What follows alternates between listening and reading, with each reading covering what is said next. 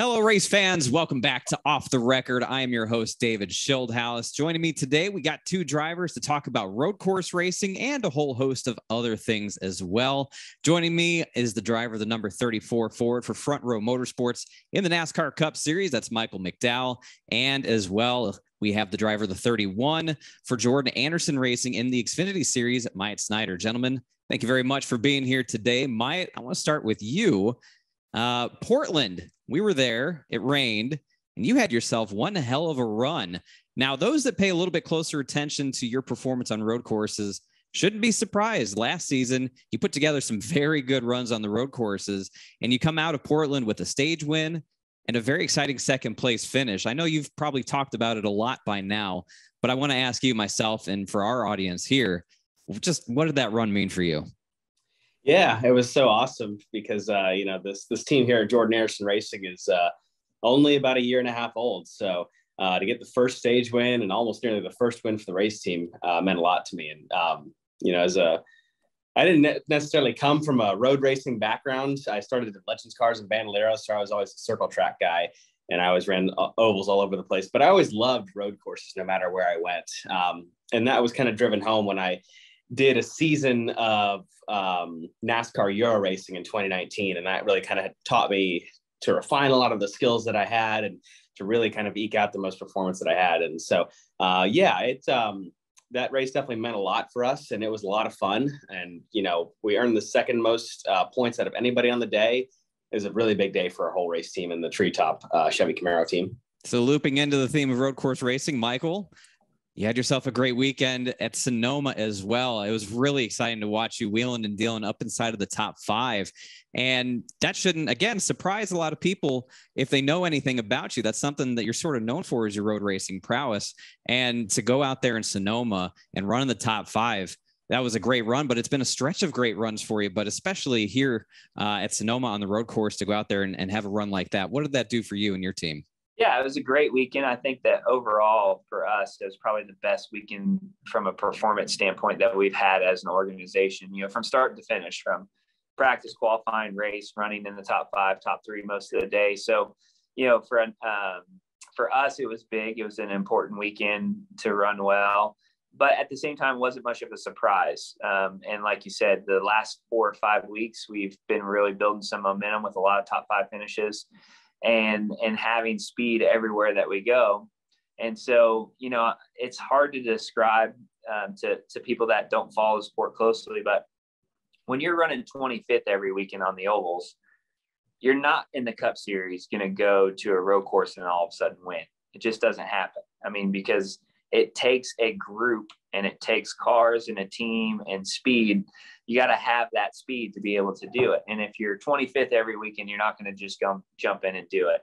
And so with the way that it's been going this year and the speed that we've had and the execution we've had on pit road and all those things, um, we sort of knew that we might be in position to to have a run like we had at Sonoma. And so uh, it was a lot of fun. I think that we were close. We needed a little bit more to actually contend for the win.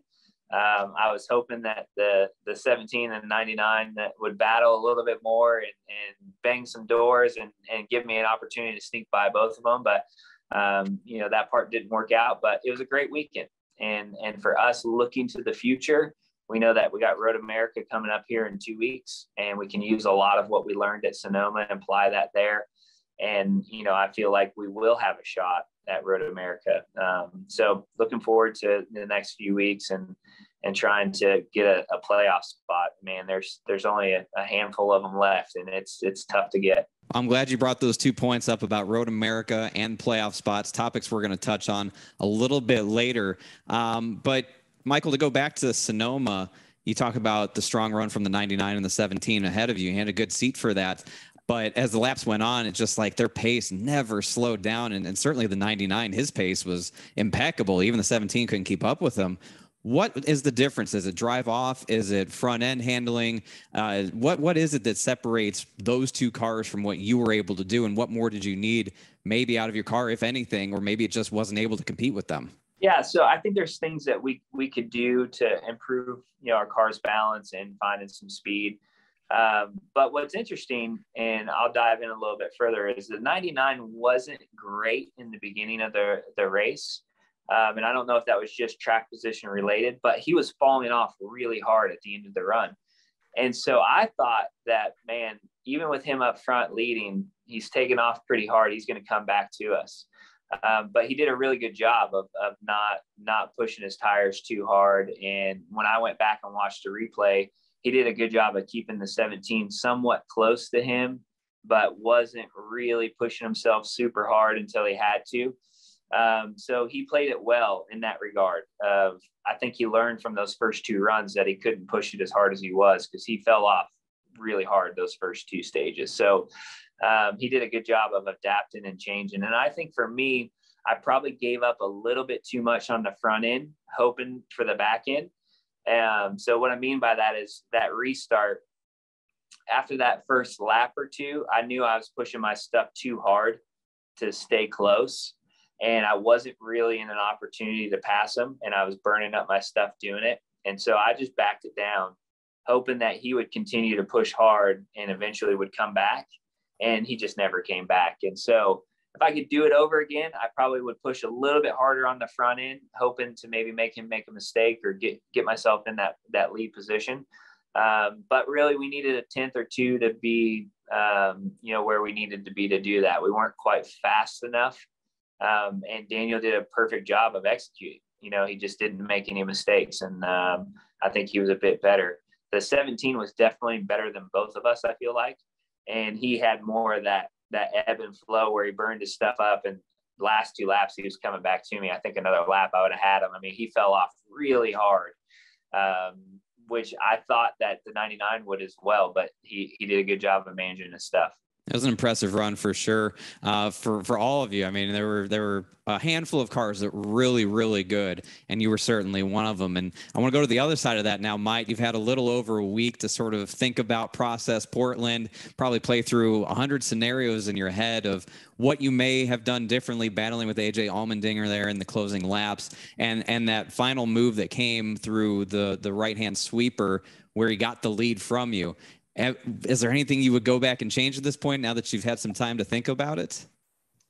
I think uh, I might have been a little more aggressive in a couple spots, but um, you know, like I said in the interview post race, you know, to me that was hard racing, and you know, you can you can go back and analyze it six ways to Sunday. Um, yeah. But you know, it's um, for me, for me, you know, that's you know, the only thing I think I would you know tend to be a little more aggressive about is just thinking all right, you know, you know, we're not as well funded of a team as uh, something like Kaulig Racing. So we um, we've got to take our chances when we get them, and we've got to you know maximize everything that we can get. And I think we you know did about 98% of that. It was just that one little move where AJ got me, and I um, I think my next best opportunity was in the next couple corners to get him back for that. And I kind of um, I was thinking that you know at the time that I had a better launch onto the backstretch than most people all day. And I was going to utilize that, but he managed to set it up just a little bit better than me that time. And he's able to get down the backstretch. Um, and I think that's what made a pretty big difference. And so he was able to just get out of range of where I could get to him. And, um, you know, I think that's the only thing I think back to. But, you know, for me, what also I learned from this is that we have you know, I feel like a really good shot at these road courses to make a difference, um, especially if it rains. And so I'm excited for that for our playoff hopes. Well, I'll tell you, I was standing there on the spotter stand in turn seven, uh, watching you lap after lap, and, and you know, spot for Anthony Alfredo. He was out of the race at that point, so I was able to watch the battle that you were having. And I'll agree, you got off a of turn seven better than almost any other car, save for maybe the 54 uh, throughout that entire race. And so I was watching the run to six, the left-hander uh, expecting to see a bumper put to him uh, for the contact that was made for him to get around you, but it just didn't happen. And and it was good racing, and it seemed like your car just got better as the track dried out. I think a lot of teams were dealing with that. They weren't so great in the wet, but once it dried out, they were really, really strong. You were certainly one of those, and that's that was a huge shot in the arm. And and it's fascinating. You talk about the things you have to think about and consider as you drive being on a smaller team versus a, a, mega team like a Kaulig Racing and all the resources they have at their disposal. It's been a running theme we've talked about on the show. Uh, so it's not just going out racing as hard as you can every lap. You have more things to consider. Michael, do you have to do the same thing driving for Front Row Motorsports? Or are you past that point now in the team's evolution over the years to where you don't have to worry about that so much or at all? No, we're not past that. I mean, it's an important part of um, our season. If if we go a string of races of tearing stuff up, or or you know Todd and I both tear stuff up, I mean, it puts us behind and it puts us in a jam, and it only hurts performance. And so I'm never in a position where I can't go for it, if that makes sense. I just got to be calculated when I do go for it. And so if you're running ninth and there's a lap to go at Charlotte, burying it in there for eighth and hitting the fence isn't worth it. If you're running second and you're going into turn 11 at Sonoma, you go for it. I mean, it's not like I have to think about that part of it. So, you know, it's not it's not a, a hindrance. It's just you got to be smart. You got to make it count when it counts. You know, if if you're battling hard for the lead and you're trying to hold track position, you know, it matters. If if you're not, you know, getting tore up, um, you know, it, it's not worth it. So it's a bit of a balance. It's not a free for all, if that makes sense. Um, but at the same time, I don't feel like it's hurt hurt us. It, it can though. Uh, in years past, I've had it. I've had um, too much damage happen in the organization and it actually hurt my program even though i wasn't tearing cars up. Um, and so it's important part of it. It's not not something we can just go and and uh, have at it all the time.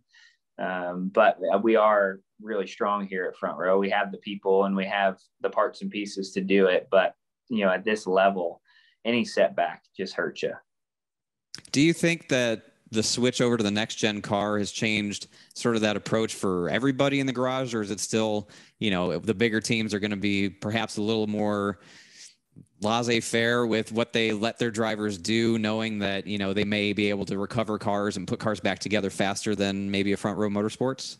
I think that the teams um, are sweating bullets.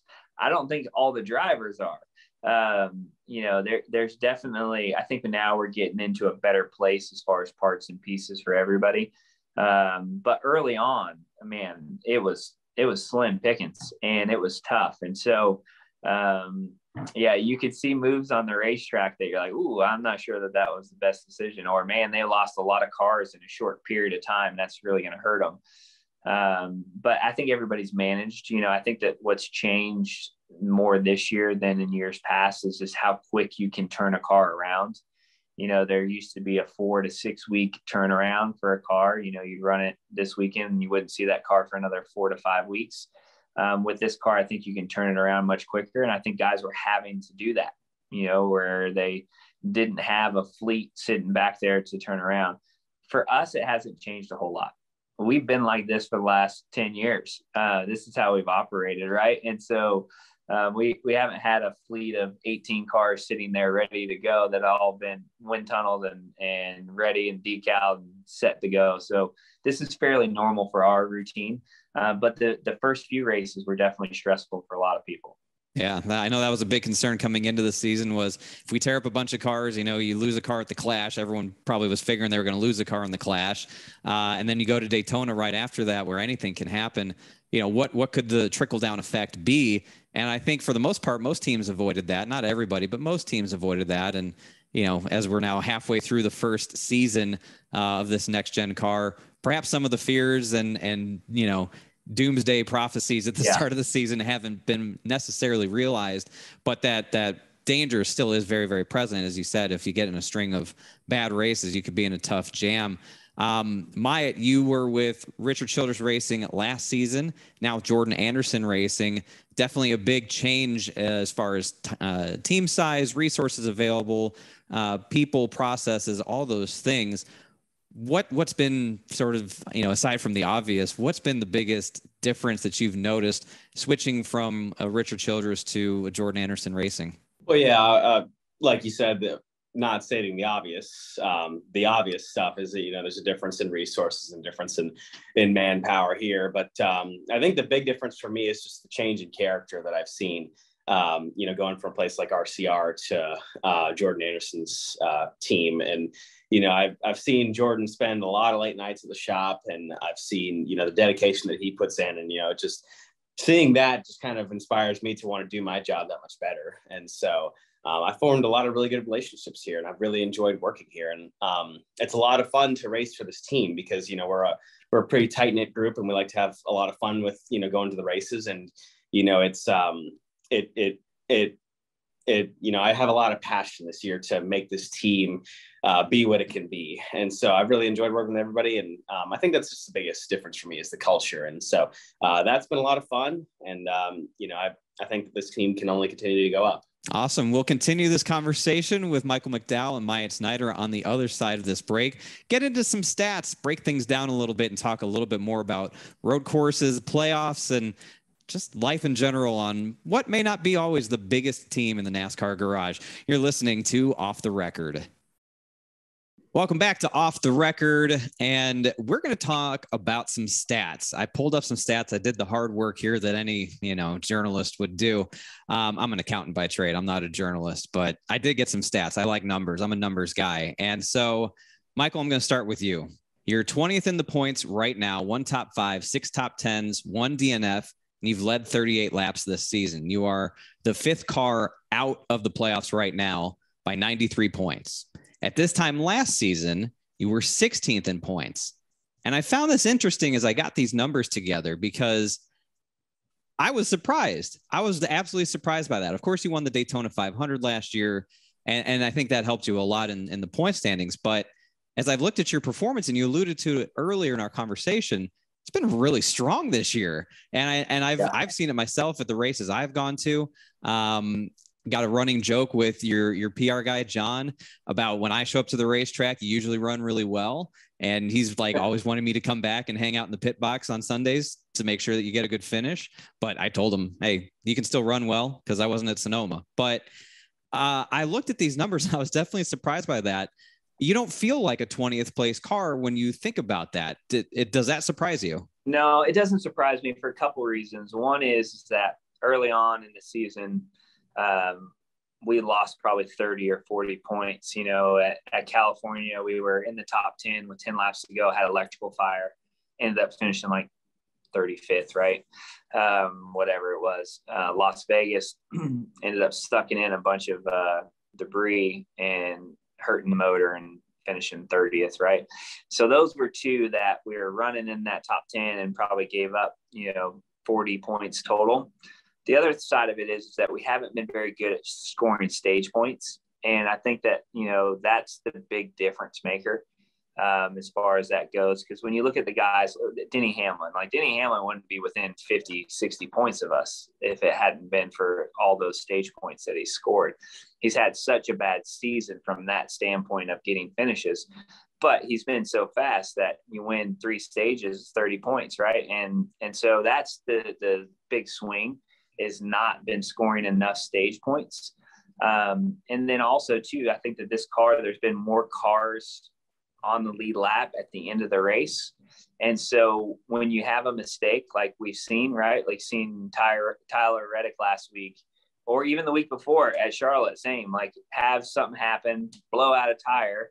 Well, he's still on the lead lap. He doesn't have to get the lucky dog. He doesn't have to wave around and he still finishes 12th. And you're like, well, man, that Last year, that would have been a 25th for him.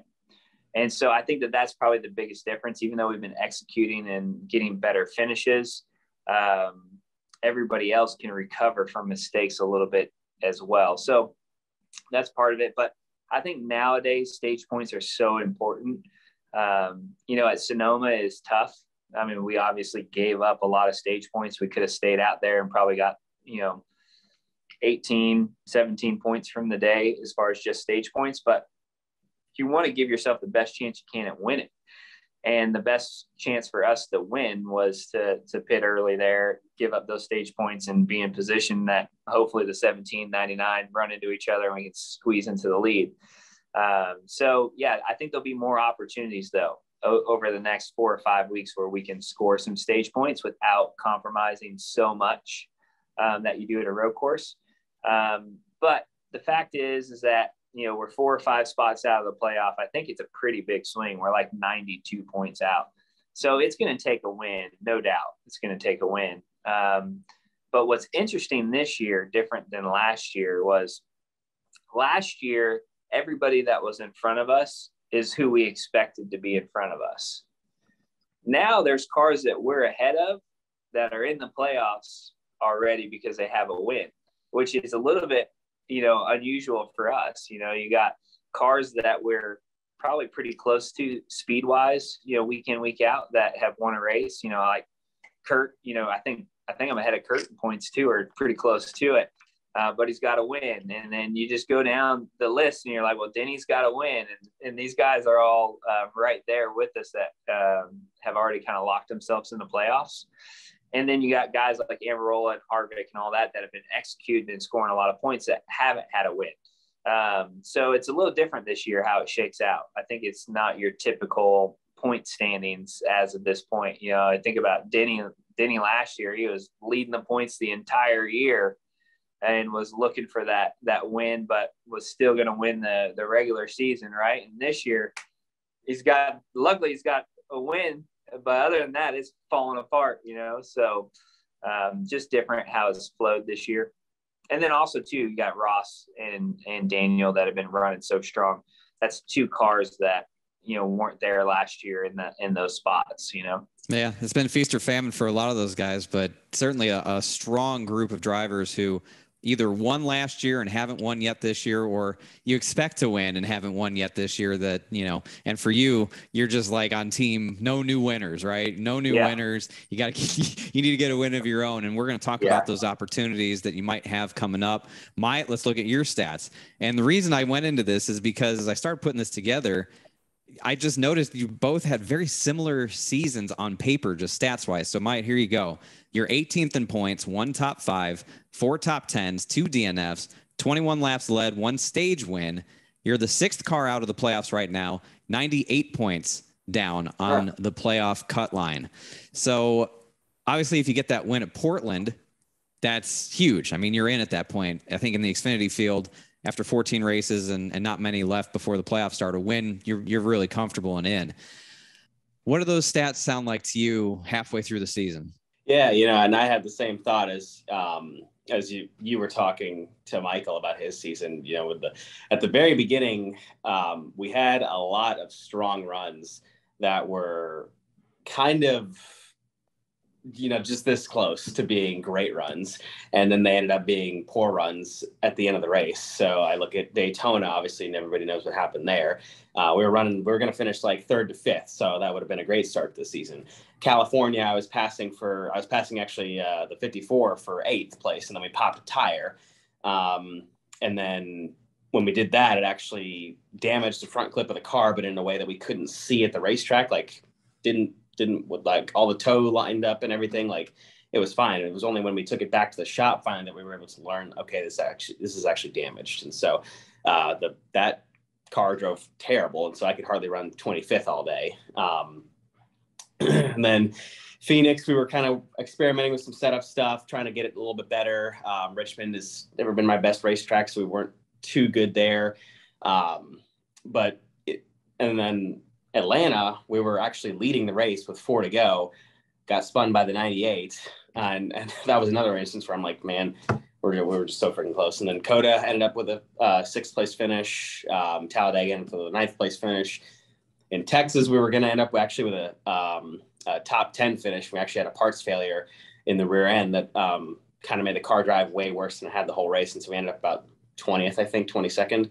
And then, um, but really the last like three, four races, we've been in contention to have top 10s every time. And um, obviously, Charlotte got a top 10, and then Portland got a, um, a second place finish. And so uh, it's been a lot of, you know, ups and downs and roller coasters. Um, and just little little stuff that we've had to learn as a team and you know like i said before this team's only a year and a half old so there's still a lot of things that you know uh, you know, at a team that's well established, it, it may, you know, these routines may be already in place, but here we've had to kind of uh, work hard at, you know, making all the, you know, the prep consistent and all that. And I think Shane Whitbeck, the crew chief, has done a really good job at organizing all that. And so uh, that's just the little stuff that we've had to work on. But, you know, I really do feel like this team has a lot of potential in it. And, um, you know, it, I think we're really going to have a really strong summer summer stretch, especially with these all these road courses and all these racetracks that I've run good at historically. So let's take it one step further then. Myatt, you talk about, you know, the little team that could here with Jordan Anderson Racing. year over year. So compared to last year, uh, halfway through the season.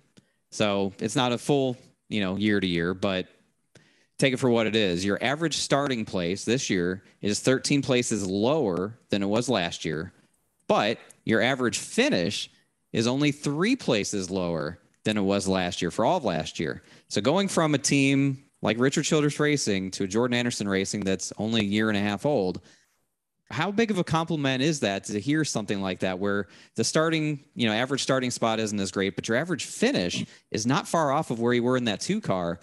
How big of a compliment is that, do you think, to, to Jordan Anderson Racing?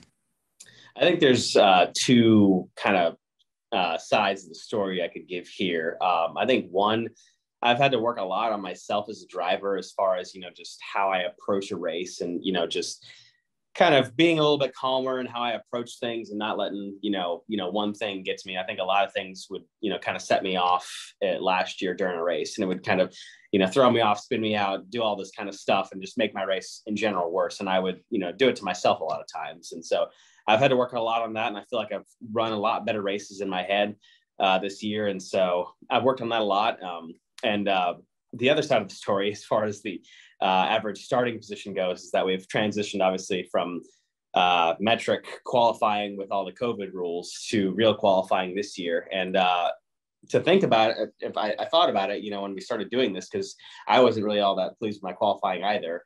Um, you know, I, I got to think about it and I was like, man, it's actually been two years since I've qualified an Xfinity car. You know, we've had, I think, one qualifying run at Charlotte and then um, all the road courses and then Phoenix, and that was it. And so, other than that, I had hardly any qualifying runs in an Xfinity car ever. So that's something I've had to work on this year a lot, and I feel like I've gotten better at it.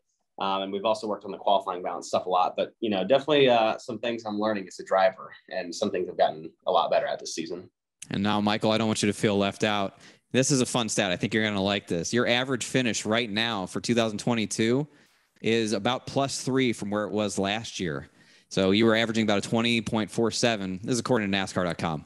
Uh, 20.47 average finish last year. Right now, you're at a 17.31. What what does that tell you?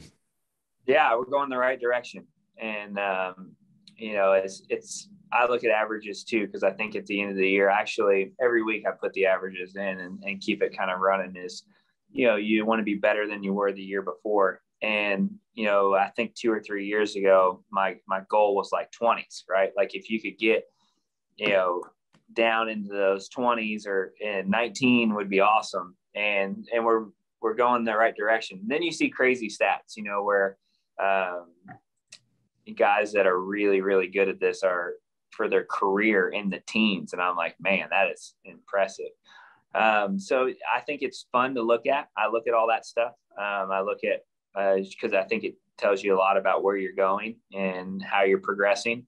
I look at total points scored too.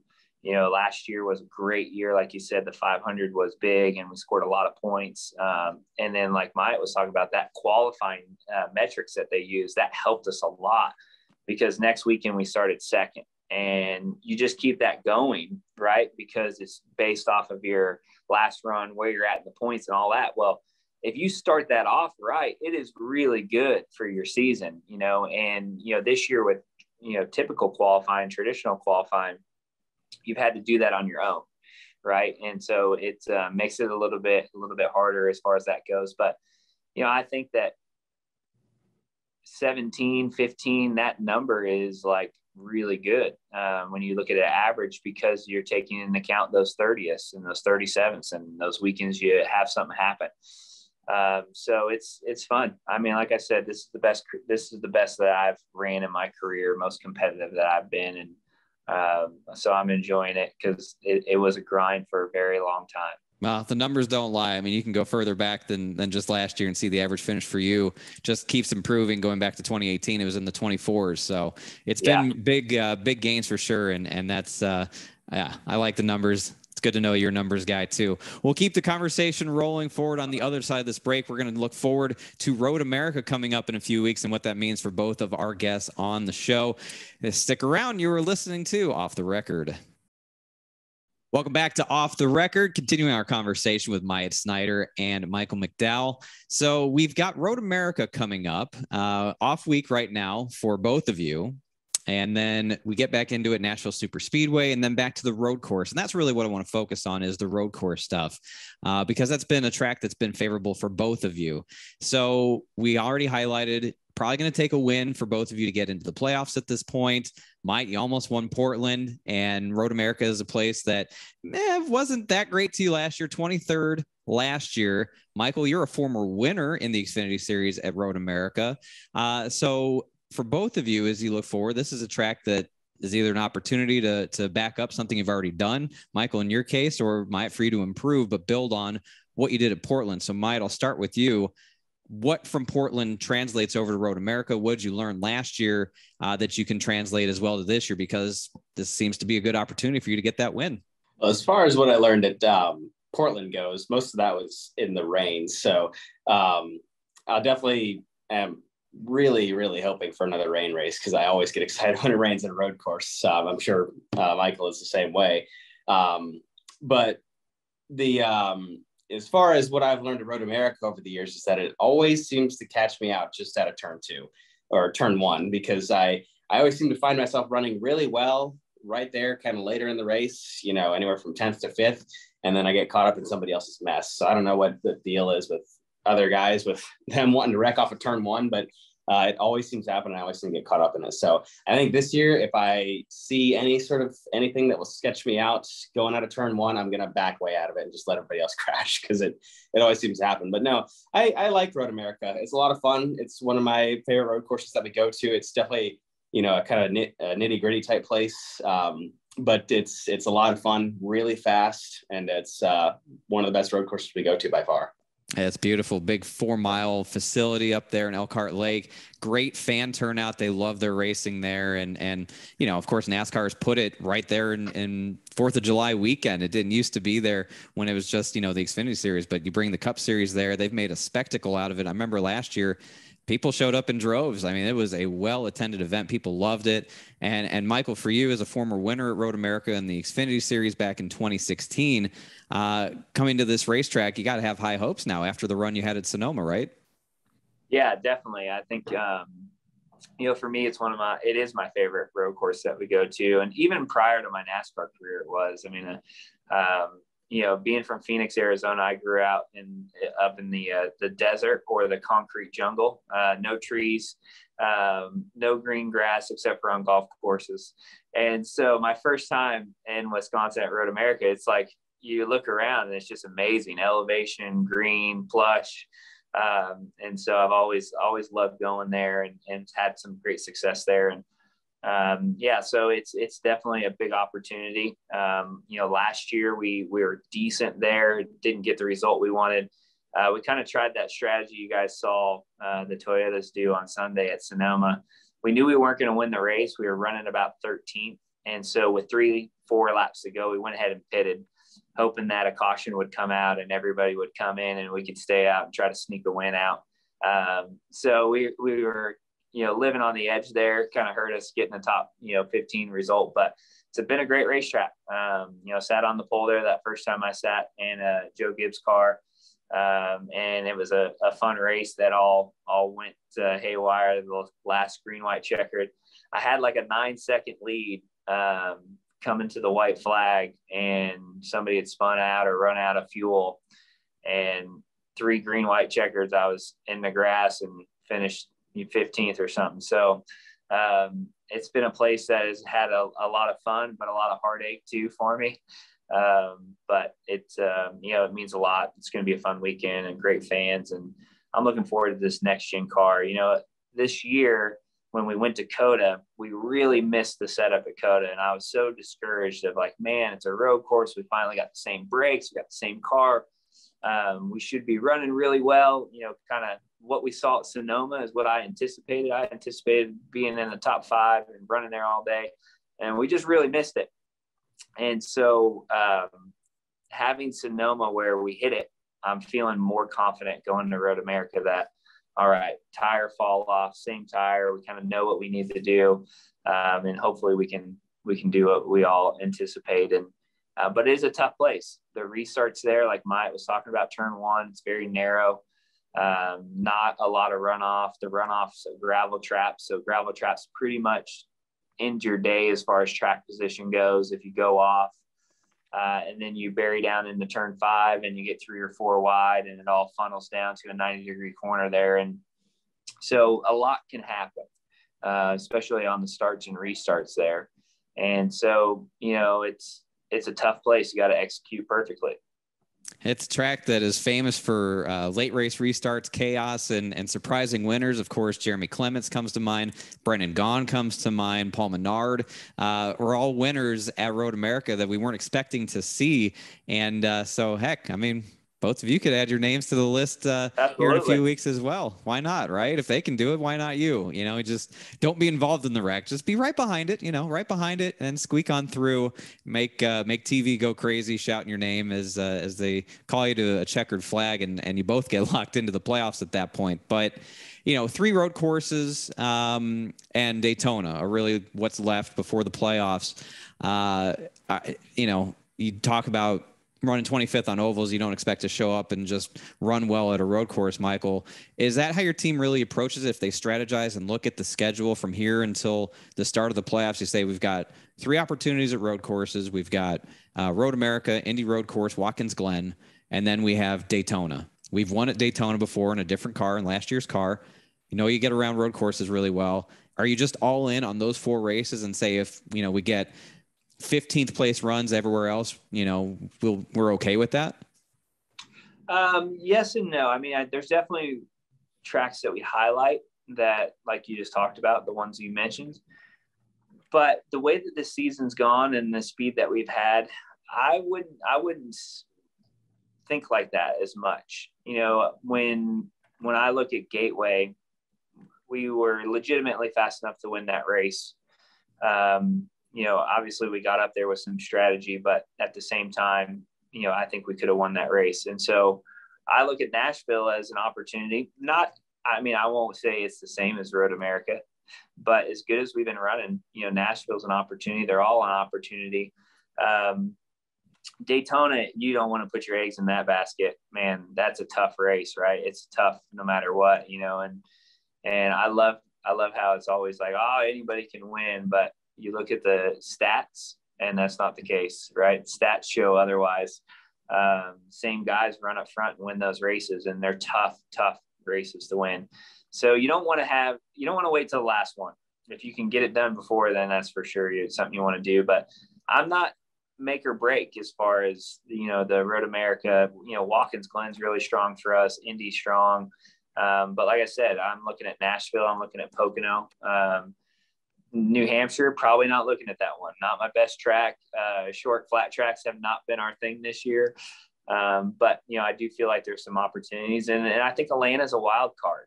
You know, Atlanta, the new surface now with this car, it's more or less like a super speedway. I wouldn't call it full super speedway, um, but anything can happen, you know. And so there's there's a couple of races that I think can be pendulum swingers, um, not just for us though either you're talking about those first time winners. You could see a first time winner at any of those places.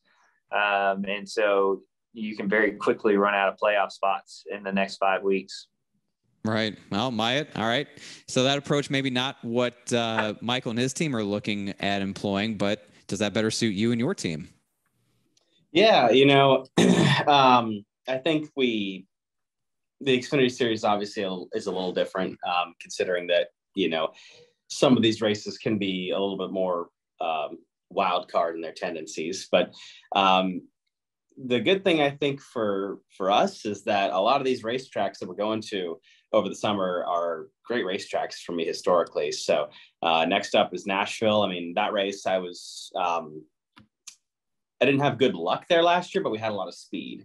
Um, all the road courses. Obviously, I feel like I have a really good shot at you know getting a top five, top ten at those races. So, um, and then uh, I think we go to and the Xfinity schedule is a little bit longer before we get into the playoffs. I think it's not until mid September at uh, just after Bristol, and I think um, we've got.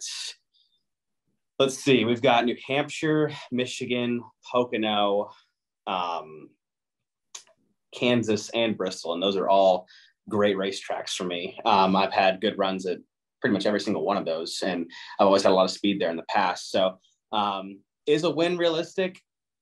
it's a long shot, but I feel like we have a, chance. Um, I'm not certainly going to rely on that, but I do feel like if we continue the streak of top tens that we've been having, and even top fives on road courses, and maybe even throwing a few stage wins there, we definitely have a chance. And um, I think one thing that we can look at is that actually, um, even though it doesn't mean much for us right now, um, 17th through 13th in points are all separated by eight points. So if those guys all have one bad weekend this summer, I'm within, you know, spitting distance of 12th in the playoffs. So obviously 12th is a little bit further away, but it's definitely something that I've been looking at the last couple weeks uh, or since Portland as, you know, an opportunity that we have. And so for me, I'm kind of like Michael. I'm looking for you know just consistency, and we've been really good at that the last couple weeks. So we just need to continue that. Excellent. Well, consistency is key. We'll wrap this thing up on the other side of our final break. Get some closing thoughts from our two guests. You are listening to Off the Record. And we're back with Off the Record. We'll close this thing off. Uh, I want to give you both an opportunity to sort of shout out your favorite thing about the team that you're with. You know, this show is about talking about the teams, the smaller teams, the midfield teams, the teams that don't always get the spotlight. And drivers always bring an interesting perspective. Now, I know there's some stories that we just can't tell, but uh, Myatt, I'll start with you. What is something that you would love for people to know, the racing fans out there to know about Jordan Anderson Racing? I think the thing that I've noticed the most about this team this year, and the thing that I appreciate the most, is just kind of like the the tight knit atmosphere and the passion that's behind this race team from really every aspect. So, you know, a lot of this team is made up of young guys, young guys who are hungry to, you know, make something happen in the sports, myself included, Jordan included, everybody who works on these race cars. They're full of just drive and they and we want to succeed in the sport. And I feel like we have brought ourselves so far, even just from Daytona. And so it's amazing to see that level of commitment from everybody. Um, Jordan, um, John Bommarito, and everybody from TaxSlayer and Louisiana Hot Sauce, Spear Six, everybody at Treetop who supports this team. You know, they support it because they love racing, and um, to see that level of commitment and that level of passion from all these people. You know, kind of like I said, with me seeing Jordan spend so many late nights at the race shop, just really makes me want to do my job that much better. And so, uh, it's hard to know when you're not in racing to to you know know the amount of dedication it takes to make this happen. There's a lot of times where you just you know you're you're so frustrated with you know x or y or z and how this is going or how that's going and you know it's um lesser people would quit at at that and i feel like there's you know none of that in this team and there's there's a lot of a lot of drive to make things happen at this team and that's what i've appreciated the most by far well, you certainly were challenged right off the rip at Daytona, as, as, it's been well documented and talked about. And that's not, you know, that's hard for any team to get past. And so I think it showed a lot of what Jordan Anderson Racing is made of to to take that situation and move on uh, and show back up at the racetrack the very next week and and be ready and, and act uh, like the true professionals that they are. So that's very cool. And and Michael, you know, Front Row Motorsports has been around for a while now, right? We've seen him in the Cup Series for a long time, um, and and in various states as you had said, you know, it's it's always been sort of an interesting watch to see what this team is doing, but certainly gains have been made. What do you attribute that to? What what is going on inside of Front Row Motorsports that is elevating it? Is it the next gen car evening things out, or is it something else? No, I think it happened even prior to that. It's just um, the culture and the mindset changing of of you know just being there versus being pushing yourself to be more competitive every weekend and um, and so that that mind shift and that culture has really changed over the last four or five years of you know not just getting to the racetrack because for a period of time that was half the goal was just getting to the racetrack but getting there and performing well and and building you know slowly. And it's been a, a slow build but you know the last three years has been fun to watch this team really take off and and have good results and um, and then two just how that affects everybody at the shop you know how that affects the culture at the shop. And you know when you ask when you ask guys to stay long and do more and and or redo something or change something like you do that enough times and it not produce a result and they get tired of doing it. And so to have it actually produce results makes it like everybody here is on fire, right? Everybody here wants to go that extra step and put that extra time in. And if it if if it matters, we're going to do it and make the most of every opportunity. And so seeing that culture and that mind shift change here over the last three, four years has been a lot of fun. Um, and then, you know, like Mike was talking about, this is a small team. Like it's a it's a family atmosphere. Like when when we're at the racetrack, I'm, I go to dinner with my guys. We all hang out. Like uh, we do life together because it it literally requires you, all of you, right? And so you you got guys that are bought in that are um, spending time away from their families and their friends and working extra hard um, to have this type of performance. And I think that that happens probably in every team, and I sort of understand that. But at our team, like everybody has more than one job. Nobody's just coming in and plugging away and that's it, right? Um, nobody. I mean, every single person here has multiple jobs um, compared to who we're up against and how they do it. And so, you know, it's it's fun to see people dig deep and and want it, and it's also fun to have results, and it makes it more rewarding. You know, I think about Daytona 500, and I know that that's the granddaddy, and it, and it means so much to everybody. It doesn't matter how big or how small you are, but just envision for a second a team of 70 people that have been grinding it out for 13 years, winning the granddaddy of them all, and what that means.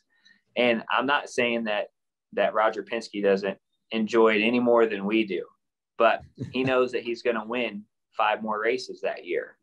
That might be the last race we ever win, but it was the big one. And I think that that that feeling last year um, really helped elevate our whole program to the next level where um, you're never going to duplicate that, but we want to do it. We want to be there again. We want to be able to win races and what that means. And so um, it's been fun to be a part of the journey here. Uh, it's certainly been evident on the track that uh, your performance has been improving, uh, leaps over bounds from where it used to be.